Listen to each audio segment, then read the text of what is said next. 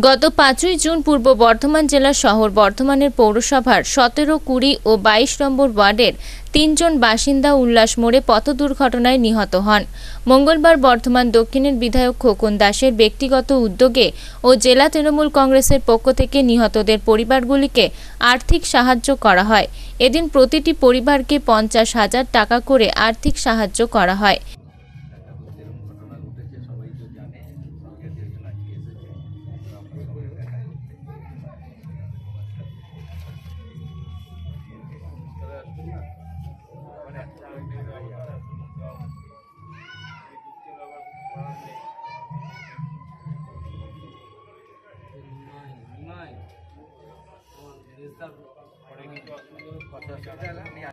তোমার আছে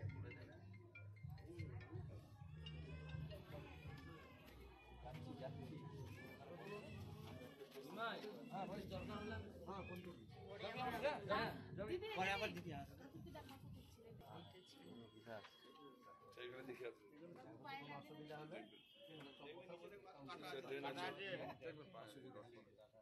যদি কোনো অসুবিধা হয় খোকনকে বলব তাহলে কাউন্সিলরও আছে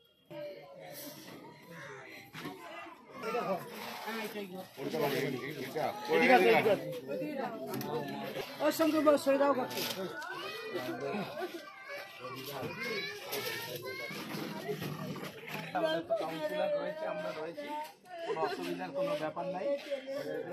দেখবে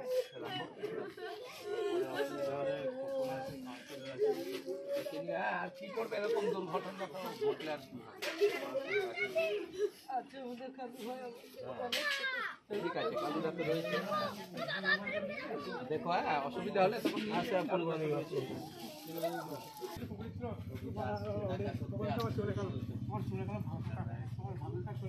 খুব ভালো ছেলে ছিল খুব ভালো ছেলে ছিল আমাদেরকে একটা মানে কাজে নিয়ে এত ভালো ছিল না হয়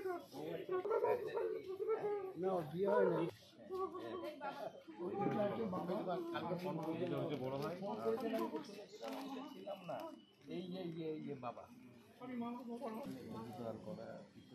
তখন হ্যাঁ, খেয়াল করিনি। তখন তারা গেল আমার তো কিছু চলে গেল হ্যাঁ সবাইকে হাসি খুশি দিয়ে চলে গেল। ঠিক ঠিক আছে যাও পরে আসব অসুবিধা হলে তো তুমি কথা বলে নেবে সবাই রয়েছে তখন কাছে তখন কাছে বৃষ্টি আছে। হ্যাঁ হ্যাঁ চলো ভাইজি দেখো ভাইজি খেলা মামা তারিখে আমাদের বর্ধমান শহরে তিনজন ছেলে যারা টোটোতে করেছিলেন উল্লাস মোড়ে একটা লরি ধাক্কা দিয়ে সেই তিনজন ছেলে আমাদের স্পট ডেথ হয়ে গেছে। আজকে আমরা তিনজনের বাড়িতে আমাদের দলের সভাপতি মাননীয় রবীন্দ্রনাথ চট্টোপাধ্যায়কে সঙ্গে নিয়ে আমাদের বর্ধমান পৌরসভার অধিকাংশ কাউন্সিলর আমরা তিনজনের বাড়ি গেছি এবং সামান্য অর্থনৈতিকভাবে তিনজনকে আমরা কিছু সাহায্য করেছি। কারণ আমরা মনে করি যে দুর্ঘটনায় যেই মারা যাক, তাদের পাশে আমাদের দাঁড়ানো দরকার। কারণ রাজ্যের মাননীয় মুখ্যমন্ত্রী একথাই আমাদের বারবার বলেন যে, যখন কেউ বিপদে পড়বে, তার পাশে দাঁড়াতে হবে। এবং আমি, আপনারা দেখেছেন, শুধু দক্ষিণ না, উত্তরেরও বহু লোক যখন বিভিন্ন দুর্ঘটনায় মারা যায় আমরা গিয়ে সঙ্গে সঙ্গে তাদের পাশে দাঁড়াই এবং সামান্য কিছু অর্থনৈতিক সাহায্যও আমরা তা করি। তা বর্ধমান শহরেও আমাদের কুড়ি নম্বর ওয়ার্ড সতেরো নম্বর ওয়ার্ড এবং বাইশ নম্বর ওয়ার্ডের তিনজন লোক তারা টোটোতে মারা গেলেন আমরা তিনজনের বাড়িতেই আজকে দেখা করে। আমরা ঘুরে।